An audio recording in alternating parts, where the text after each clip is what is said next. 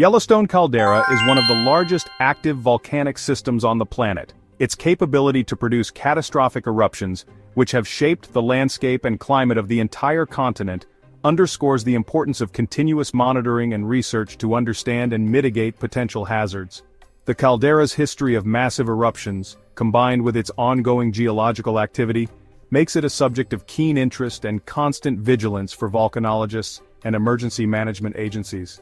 By studying Yellowstone's behavior, we gain invaluable insights into volcanic processes and improve our preparedness for potential future events, ensuring the safety and resilience of communities both locally and globally. The fact that Yellowstone is still active today has garnered a lot of attention from scientists and the general public alike. People can't help but wonder, what if it were to erupt again? Would we be prepared for such an event? As we delve into the world of Yellowstone's volcanic activity, it's essential to understand the significance of this natural wonder. Not only is it a prized national park, but it's also an active volcano that demands our respect and attention. Recent geological activities at Yellowstone have certainly caught our attention. The park has been experiencing a swarm of earthquakes. These earthquakes are typically small, ranging from magnitude 1 to 3, but they do indicate that there's movement beneath the surface. Dr. Poland also noted, Recent geological activities at Yellowstone, such as the swarm of earthquakes and ground deformation, are critical indicators that we closely monitor. The rate and nature of these activities help us discern whether there is a buildup of magma that could signal an imminent eruption. For instance, the park experienced over 2,500 earthquakes in 2020 alone, primarily small ones ranging from magnitude 1 to 3. This seismicity indicates movement beneath the surface which we watch carefully. In addition to earthquakes, ground deformation, which refers to the slow movement of the Earth's surface, is another key indicator.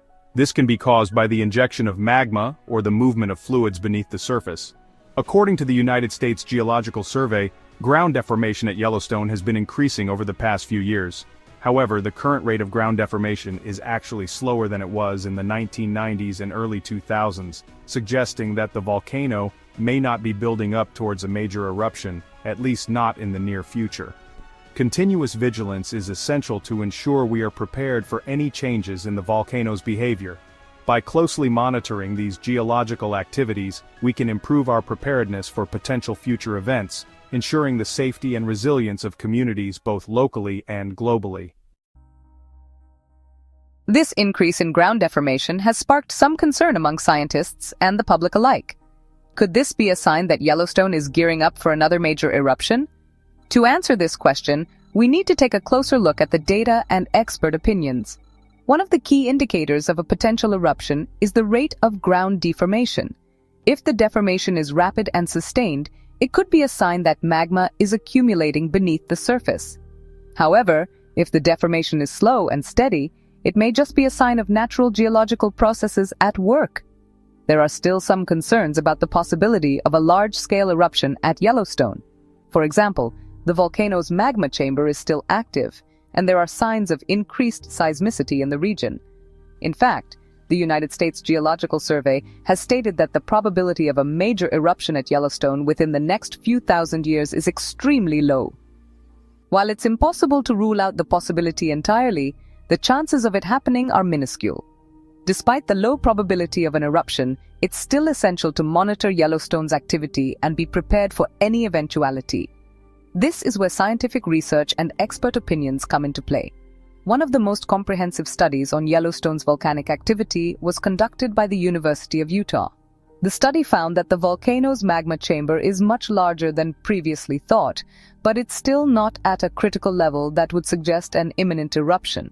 Experts have also emphasized the importance of distinguishing between different types of volcanic activity.